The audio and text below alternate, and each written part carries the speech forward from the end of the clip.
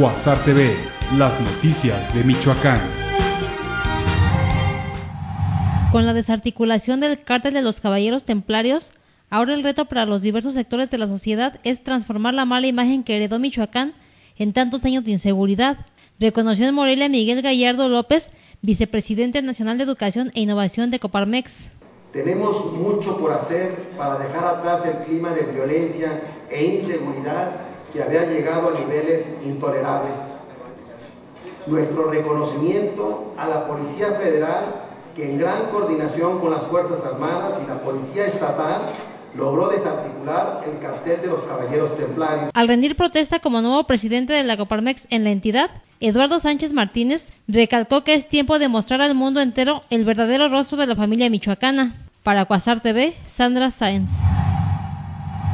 Elementos del Ejército Mexicano, de la Procuraduría General de la República y de Justicia del Estado de Michoacán localizaron y destruyeron tres planteos de marihuana en los municipios de Queréndaro y Mújica. En el municipio de Mújica, elementos de la Procuraduría de Justicia del Estado localizaron un predio de 3.200 metros cuadrados sembrado con más de 38.400 plantas del enervante, mientras que en Queréndaro, personal del ejército mexicano adscrito a la 21 zona militar localizó y destruyó dos planteos de marihuana durante un operativo efectuado en las inmediaciones del poblado de Ojo de Agua.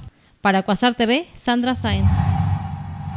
Ver pasar a 11 gobernadores en 30 años es una muestra palpable de que Michoacán no ha podido superar aún la etapa de inestabilidad política, señaló el cardenal Alberto Suárez Inda, quien hizo un llamado a que con la participación de la población se elijan mandatarios o líderes sociales de periodos completos. El gran desafío es estar atento a las necesidades de la gente y animar a todos a que corresponsablemente trabajemos, iglesia y sociedad familia y escuela. Todos debemos pues eh, estar a la altura de las exigencias y este es un desafío enorme porque se trata de concientizar, se trata de alentar y de tender puentes. En el marco del 450 aniversario del natalicio de Don Vasco de Quiroga, Monseñor Suárez Cinda invitó a la ciudadanía a emitir su voto a favor de la justicia, la paz y el progreso. Con información de Oscar Suárez Informa, Cuasar TV.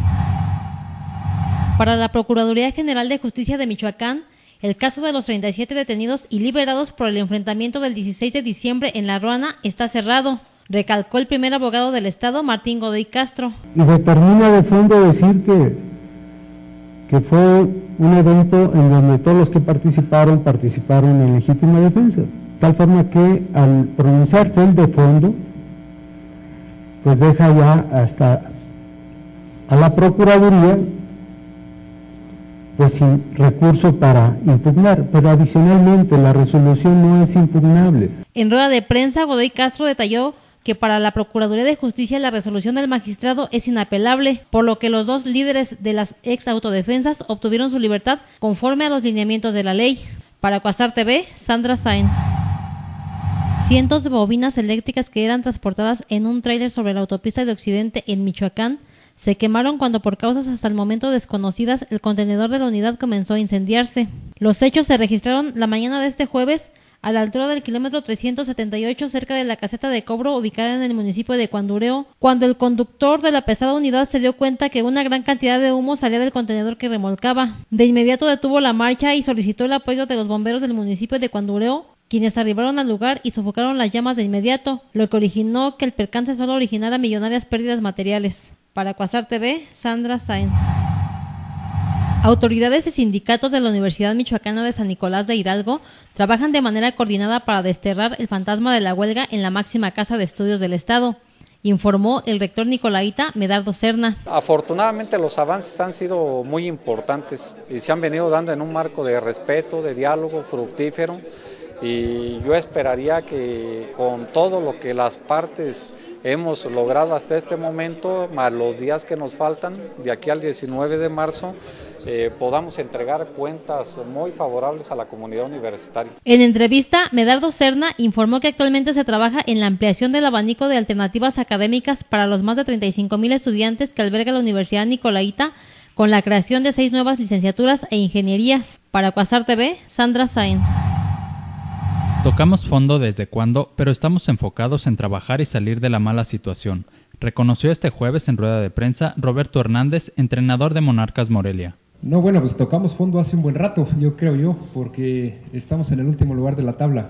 Solamente la semana pasada eh, no estuvimos ahí, pero regularmente el equipo ha estado en esa posición y, y, los números y la tabla pues te dice que estamos ahí, ¿no? Eh, eh, no hay más abajo, sin duda. Entonces, sí te digo, estamos ocupados en trabajar para sacar al equipo de, de esa posición.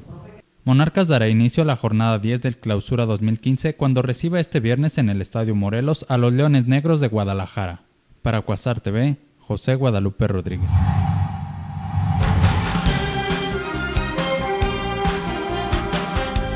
Cuasar TV, las noticias de Michoacán.